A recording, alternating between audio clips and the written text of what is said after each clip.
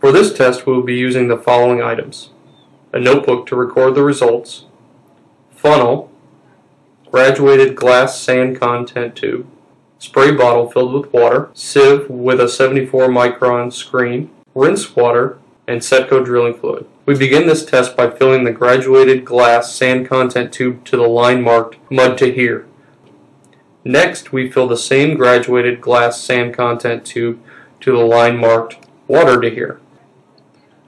Once both drilling fluids have been added, place your thumb over the top of the graduated glass sand con tube and shake well.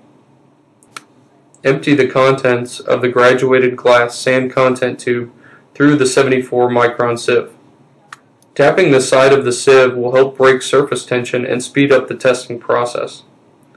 Rinse the graduated glass sand content tube with water, each time pouring it through the sieve until no traces of sand remain. Use the squirt bottle to rinse the screen thoroughly to remove any drilling fluid or silts that may have been trapped.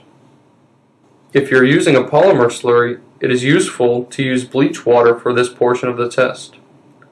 Once rinsed, place the funnel over the top of the sieve, then flip it over onto the top of the graduated glass sand content tube. Finally, use the spray bottle to rinse the contents of the sieve into the graduated glass sand content tube.